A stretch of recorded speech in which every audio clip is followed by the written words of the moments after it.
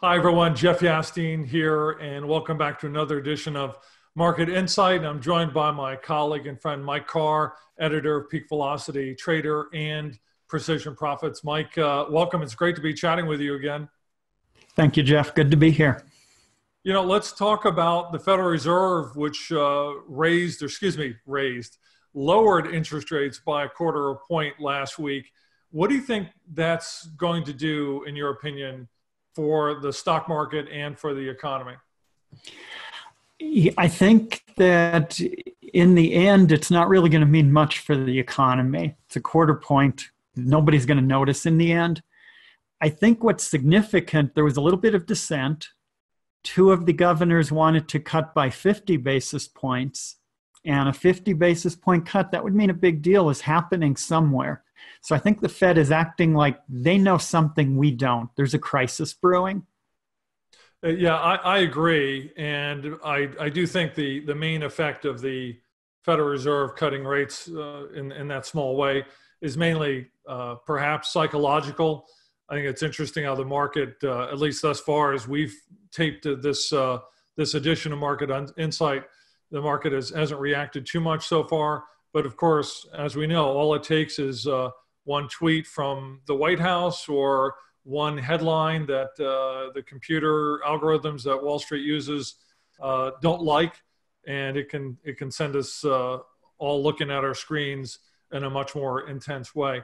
Um, what would be your suggestion for uh, people who subscribe to you or people thinking about subscribing to your service as far as how they should approach what's happening with the Fed versus what you do in your service? Is, is there any connection, or you just ignore one, focus on the other?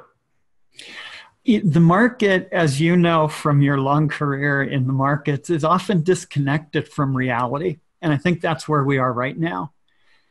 I'm seeing a period exactly like January 2008. There was a crisis. The Fed cut rates three quarters of a point between meetings on a holiday. So, out of nowhere, the Fed does this surprise cut.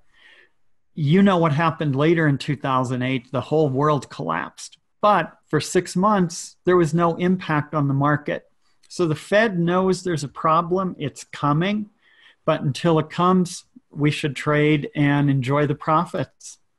It's what I, I've been telling my subscribers as well. It is important to not try to look too far out into the future we know that there are risks out there, and as you noted, the Fed has uh, indicated in its own way that there are risks out there. But at the same time, if you try to look too far out, you try to sort of outguess what's going to happen in the market uh, and what the Fed may or may not do.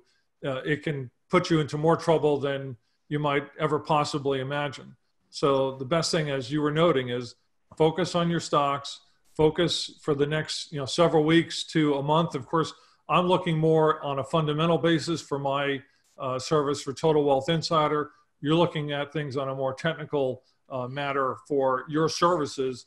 But the main thing is we both have systems. You follow that system and, until it tells you uh, otherwise. You know, as as your stocks uh, move in different directions. Correct. Correct. And you know, I know it seems like a long shot, but it is possible the Fed is going to solve the crisis, whatever it is. So we can't discount the fact that their work may pay off and avoid the crisis. Exactly. Uh, I know for myself, one thing I've been talking to people about is uh, this whole issue with China and the Trump White House and these uh, this ongoing tariff situation, which I don't know whether it's going to get resolved uh, by this administration and before the election or not. But I do know if the market begins to weaken, that puts pressure on the administration to do something. And again, it wouldn't take much, uh, as we've seen before, even sometimes just a positive tweet or two to suddenly get the market moving in the uh, upper uh, direction, the upper trend, even if it only lasts for a few days. But the point being, it doesn't take much for the administration to say something or do something concrete to suddenly turn the market around. And that's why, as you know, we just can't look too far ahead. Any final thoughts there, Mike?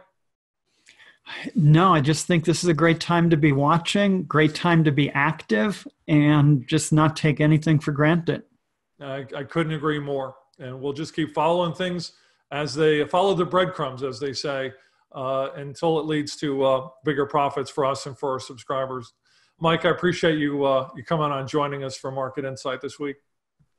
Thank you.